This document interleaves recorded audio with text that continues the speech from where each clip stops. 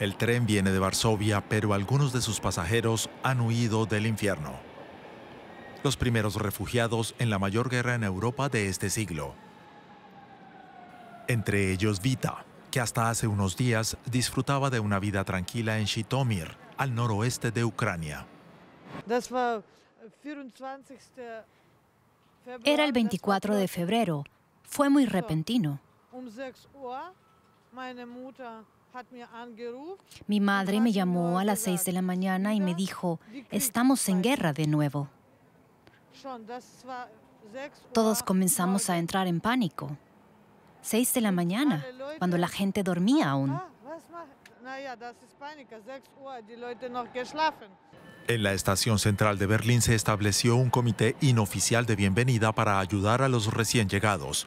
Los organizadores usan la aplicación Telegram para coordinar ofertas de alojamiento, dinero, ropa, comida y traductores.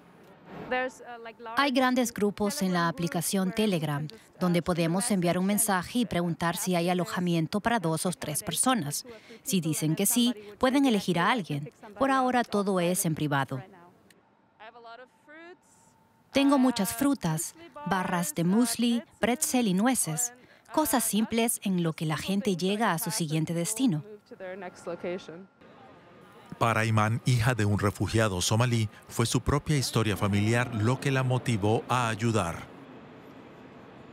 Es algo que está muy cerca de mi corazón. Mi papá y su familia llegaron como refugiados a los Estados Unidos desde Somalia y yo soy mitad alemana. Así que sentí que si había una crisis y venía gente huyendo, yo tenía que ayudar, porque alguien lo hizo así por mi familia.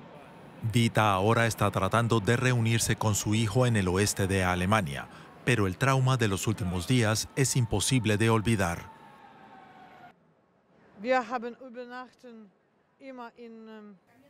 Estábamos durmiendo en el sótano. Escuchábamos constantes alarmas, constantes bombardeos, tanques circulando por la calle.